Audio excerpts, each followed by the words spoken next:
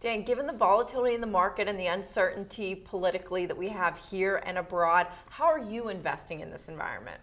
What's your strategy?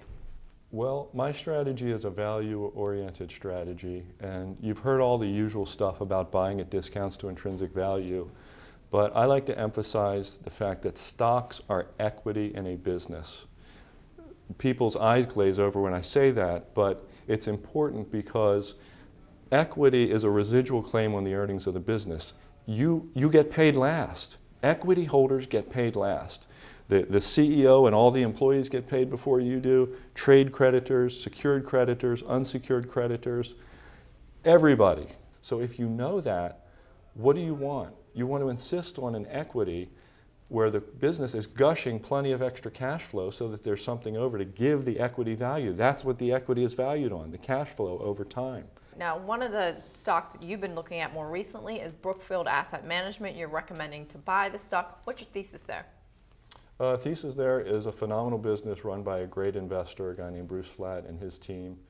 Um, they have produced excellent uh, returns for shareholders since 1989. They've produced more than 15% a year, which is a great record over that period of time.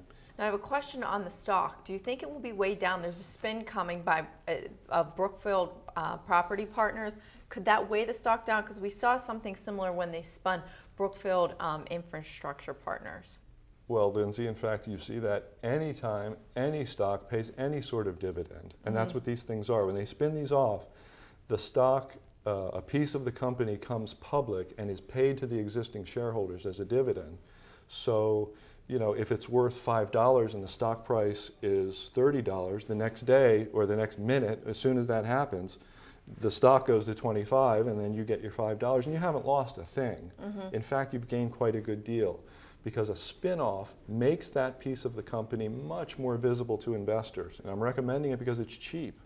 Uh, the net asset value of this thing is 42 bucks, and it's still trading below 35, mm -hmm. I, I, mm-hmm. believe, as we uh, as we talk here this morning, maybe 33, 34, something like that. You're a buyer under that 42 for sure.